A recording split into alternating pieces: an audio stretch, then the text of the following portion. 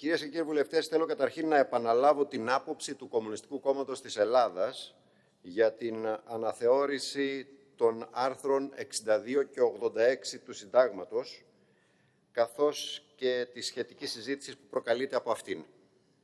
Κατά τη γνώμη μας, υπηρετεί την αέναη προσπάθεια αναπαλαίωσης του αστικού πολιτικού συστήματος, το οποίο φροντίζει να μακιγιάρεται συχνά πυκνά, ώστε να κρύβει το πραγματικό του αντιλαϊκό πρόσωπο.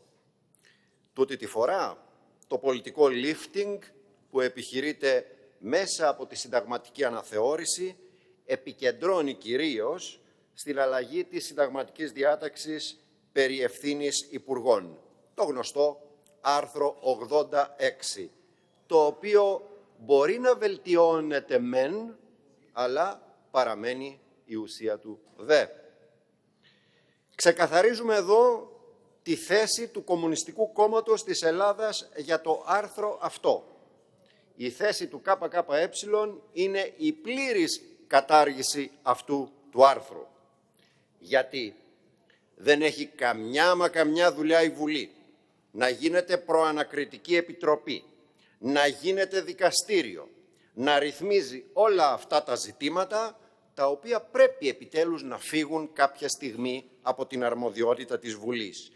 Και οι Υπουργοί πρέπει να ελέγχονται και να λογοδοτούν από τη δικαιοσύνη όπως και ο κάθε Έλληνας πολίτης. Και αν θέλετε, ακόμα και πιο αυστηρά και από τον απλό πολίτη. Γιατί, ξέρετε, δεν μπορεί ο απλός εργάτης, ο αγρότης, ο επαγγελματίας να κυνηγέται με τη βούλα του νόμου για ψήλου πίδημα και να έχεις έναν υπουργό ο οποίος χειρίζεται πολύ σοβαρά ζητήματα να έχει αυτός ο υπουργός ασυλία και να μην μπορεί η δικαιοσύνη να τον παραπέμψει στο δικαστήριο αν χρειαστεί επειδή έχει ειδική ποινική μεταχείριση. Γιατί είναι ειδική ποινική μεταχείριση, κυρίες και κύριοι, των Υπουργών η διεξαγωγή προκαταρκτικής εξέτασης να αποφασίζεται από τη Βουλή και όχι από την εισαγγελία όπως για όλους τους υπόλοιπους Έλληνες πολίτες. Είναι ειδική ποινική μεταχείριση. Αυτή η προκαταρκτική εξέταση των Υπουργών να γίνεται από επιτροπή που αποτελείται από βουλευτές, ενώ για τους απλούς πολίτες αυτή διενεργείται από δικαστικούς με τη συνδρομή της αστυνομίας. Είναι ειδική ποινική μεταχείριση των Υπουργών. Η ποινική δίωξη των Υπουργών να ασκείται με απόφαση της Ολομέλειας της Βουλής και όχι από την εισαγγελία όπως γίνεται για τους απλούς πολίτες. Και βεβαίως είναι ειδική ποινική μεταχείριση η Βουλή να μπορεί με απόφασή της να ανακαλεί ή να αναστέλει τη δίωξη υπουργών κάτι που δεν μπορεί να γίνει, κάτι που δεν ισχύει για τους απλούς πολίτες. Και βεβαίως η εκδίκαση των υποθέσεων που αφορούν ποινικές ευθύνες υπουργών να μην γίνονται να μην γίνεται από τα κοινά ποινικά δικαστήρια ανάλογα με την βαρύτητα της πράξης, όπως συμβαίνει με τους απλούς πολίτες, αλλά να γίνεται από το ειδικό δικαστήριο. Όλα αυτά συνιστούν ειδική, ειδικότατη ποινική μεταχείριση των Υπουργών. Και όλα αυτά με την προτινόμενη αναθεώρηση παραμένουν με ευθύνη και του ΣΥΡΙΖΑ και της Νέας Δημοκρατίας τελικά. Να γιατί δεν αρκεί να καταργείς την αποσβεστική προθεσμία.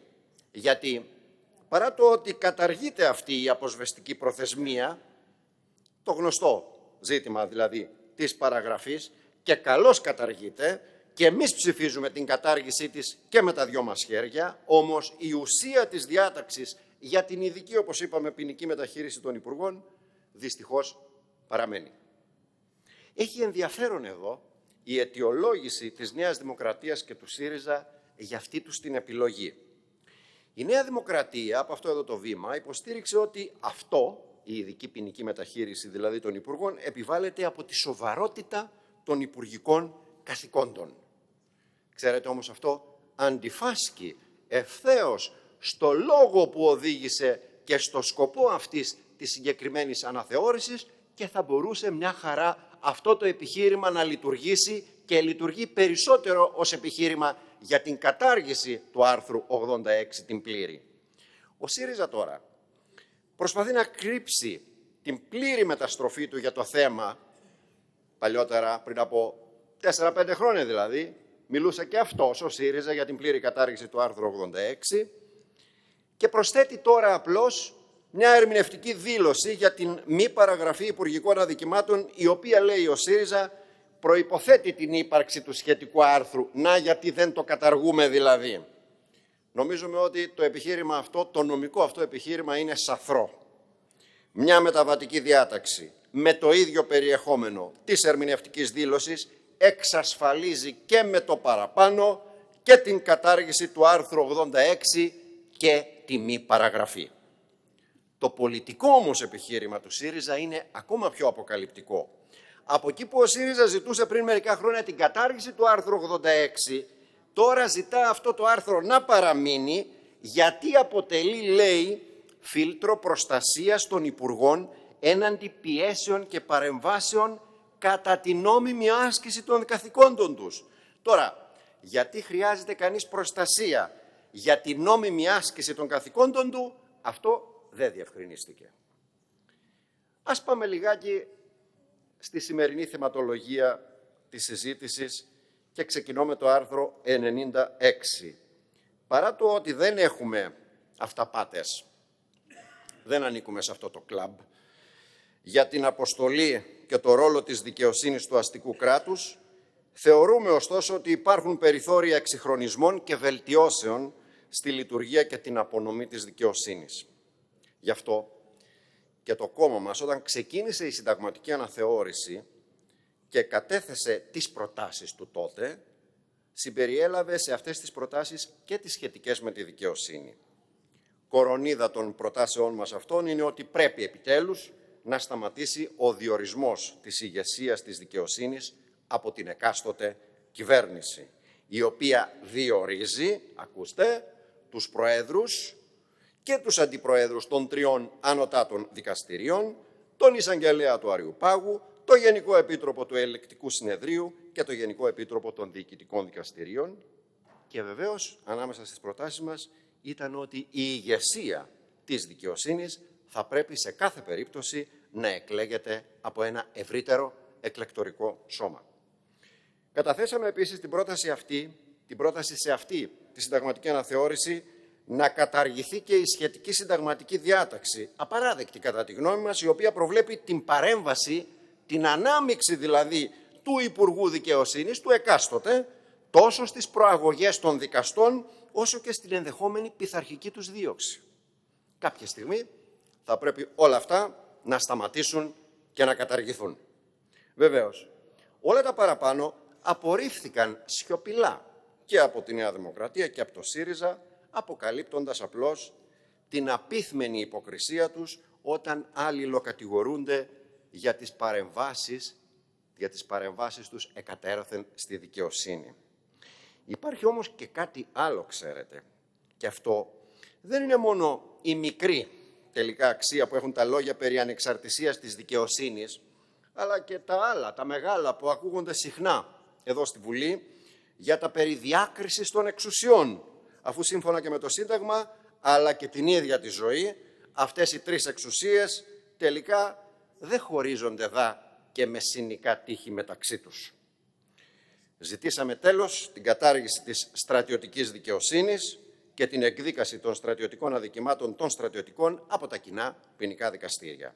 Δεν καταλαβαίνουμε και ασφαλώς δεν συμφωνούμε με τη σκοπιμότητα της ύπαρξης και της λειτουργίας των στρατοδικείων και των τακτικών και των έκτακτων, τόσο στις σημερινές όσο και σε οποιασδήποτε συνθήκες. Άλλωστε, στη λαϊκή συνείδηση, τα στρατοδικεία, ξέρετε, ξυπνούν πολύ άσχημες μνήμες, αφού συνδέονται με τις πιο σκοτεινές σελίδες της ελληνικής ιστορίας, με τις πιο άγριες διώξεις και με τις μαζικές εκτελέσεις λαϊκών αγωνιστών.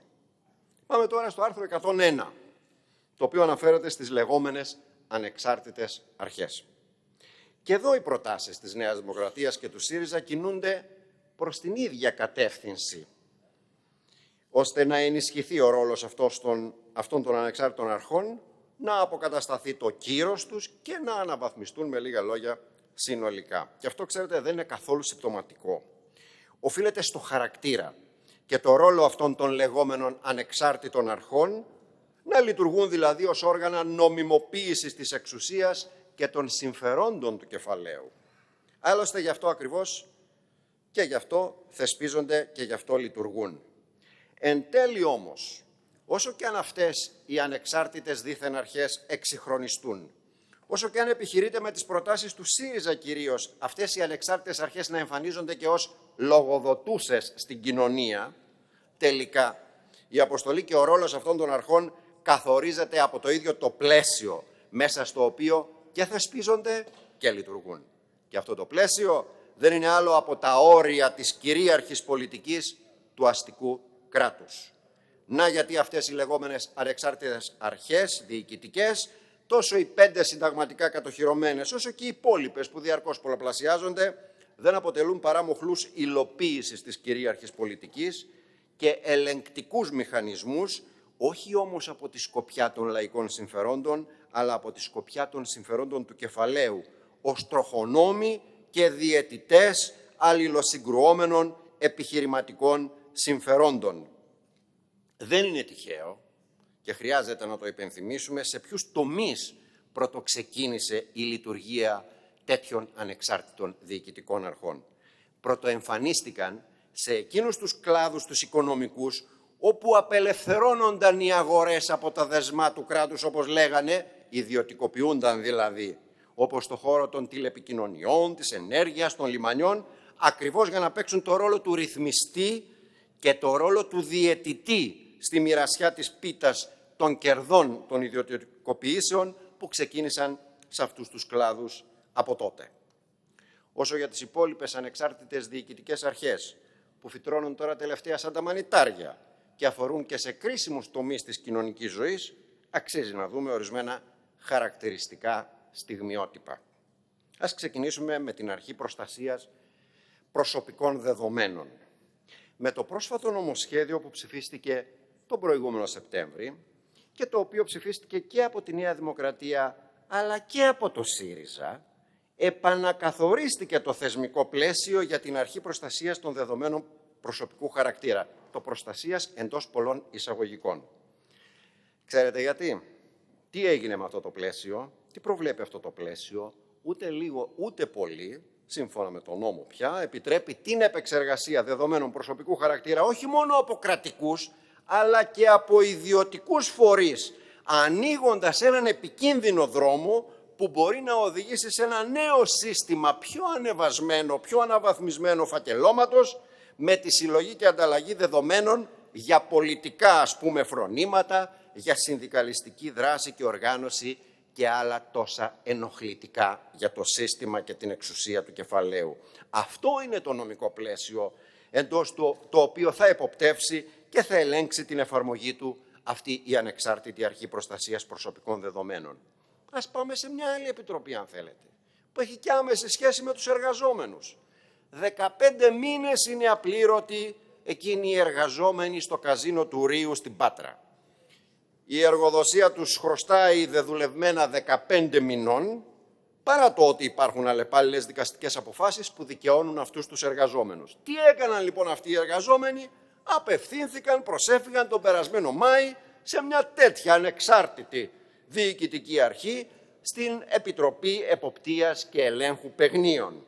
Σύμφωνα μάλιστα με τον νόμο, αυτή η Επιτροπή θα έπρεπε να βγάλει απόφαση μέσα σε 60 μέρες, σε δύο μήνες. Θα έπρεπε δηλαδή αυτή η απόφαση να έχει βγει μέχρι τα τέλη του Ιούλη το πολύ. Νοέμβριο έχουμε και ακόμα δεν έχει βγει απόφαση από αυτήν την ανεξάρτητη αρχή. Τι να σκεφτούν δηλαδή αυτοί οι εργαζόμενοι και εμείς και όλοι για την ανεξαρτησία αυτής της αρχής. Τέλος, με τη λεγόμενη Επιτροπή Ανταγωνισμού, για την οποία μάλιστα έγινε και πολύ μεγάλος δώρος το προηγούμενο διάστημα, την Επιτροπή δηλαδή η οποία μεριμνά για την ανταγωνιστικότητα των επιχειρηματικών ομίλων. Μπήκε άραγε ποτέ, αναρωτιόμαστε, και ας αναρωτηθούν και οι εργαζόμενοι, Μπήκε άραγε ποτέ αυτή η Επιτροπή Ανταγωνισμού εμπόδιο στην εξάπλωση της ανεργίας, της φτώχειας.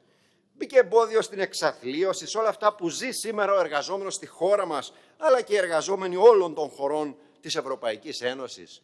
Όχι βέβαια. Άλλωστε, αυτήν την ανταγωνιστικότητα επιρετεί και για αυτήν την ανταγωνιστικότητα τσακίζονται τα εργατικά δικαιώματα.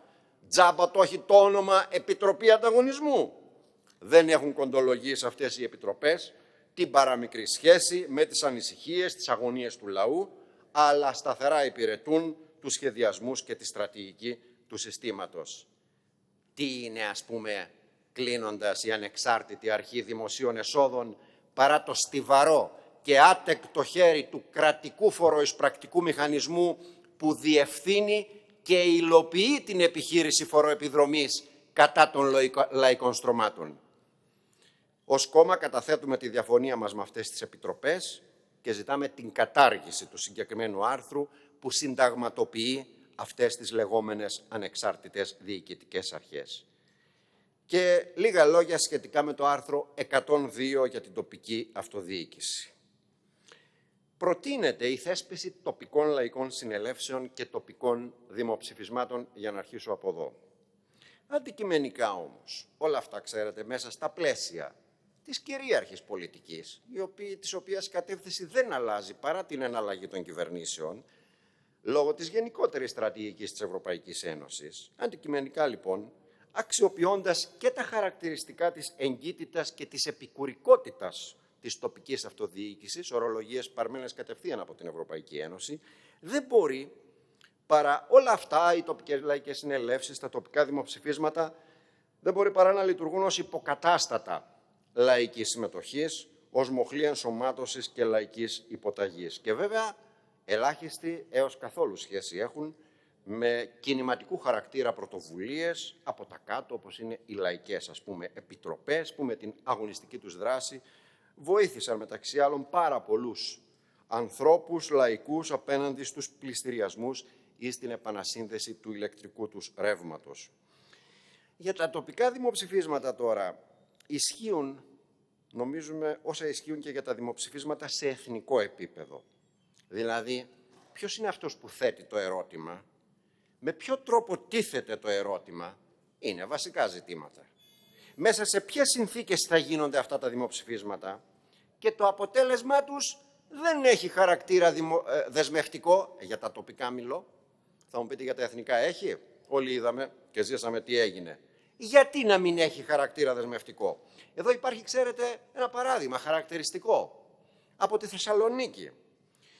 Στο δημοψήφισμα του 2014 για την ιδιωτικοποίηση της ΕΙΑΘ, ένα άτυπο μεν, αλλά με πολύ μεγάλη συμμετοχή λαϊκή δημοψήφισμα, το αποτέλεσμα του οποίου κατάφερε τελικά η κυρίαρχη πολιτική να το αφομοιώσει, αφού στο ερώτημα που τέθηκε τότε στο λαό της πόλης να απαντήσει δεν θυγόταν με αυτό το ερώτημα η μήτρα της ιδιωτικοποίησης της ίδρευσης της πόλης. Και η μήτρα ήταν, και είναι φυσικά, η πολιτική της απελευθέρωσης της Ευρωπαϊκής Ένωσης και στο νερό, όπως και στην ενέργεια και σε μια σειρά άλλους τομείς βεβαίως της οικονομίας. Όταν όμως δεν θίγεται σε ένα δημοψήφισμα η ρίζα του προβλήματος, όπως έγινε με το δημοψήφισμα για την ΕΙΑΘ, Μπορεί μια χαρά η κυρίαρχη πολιτική να το ενσωματώνει, να το αφομοιώνει και ορισμένες φορές ακόμα και να το αξιοποιεί για να περάσει την πολιτική της, όπως έγινε από το ΣΥΡΙΖΑ με την περίπτωση της ΕΙΑΘ, που προχώρησε την ιδιωτικοποίηση. Τέλος, είναι γνωστή η θέση του ΚΚΕ για την τοπική διοίκηση.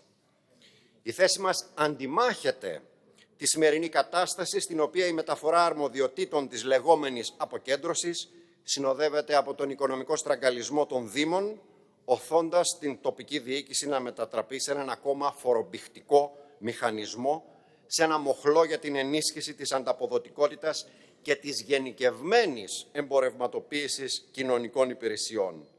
Έτσι ώστε ως κύρια πηγή τους οι πόροι της τοπικής αυτοδιοίκησης ή διοίκησης να έχουν αυτοί οι πόροι ως κύρια πηγή την ανταποδοτικότητα και την επιχειρηματικότητα, ενώ η κρατική χρηματοδότηση να έχει απλώς έναν συμβολικό χαρακτήρα εξισορρόπησης. Είναι χαρακτηριστικό Και το επιχείρημα το οποίο, σχετικό με αυτά που είπαμε, ε, το επιχείρημα σχετικό με τα, το σχετικό με τα λεγόμενα νέα εργαλεία εσόδων, όπως ονομάζονται των Δήμων. Μιλάμε φυσικά εδώ για την κατεφημισμό αξιοποίηση της ακίνητης περιουσίας των Δήμων, η οποία δεν είναι τίποτα άλλο παρά μια γενική επιδρομή κυριολεκτικά, μια γενική έφοδος των λεγόμενων επενδυτών στη δημόσια ακίνητη, στη δημοτική ακίνητη περιουσία, στους πόρους της και στις υποδομές της. Ενώ δεν παραλείπουμε να αναφέρουμε και, την, και αυτό που έγινε πριν από λίγες μέρες με τον Πρωθυπουργό, ο οποίος απευθυνόμενος πρόσφατα στους περιφερειάρχες δήλωσε ότι η κρατική χρηματοδότηση, λέει, των περιφερειών θα εξαρτάται από το κατά πόσο υλοποιείται ουσιαστικά η κεντρική πολιτική γραμμή.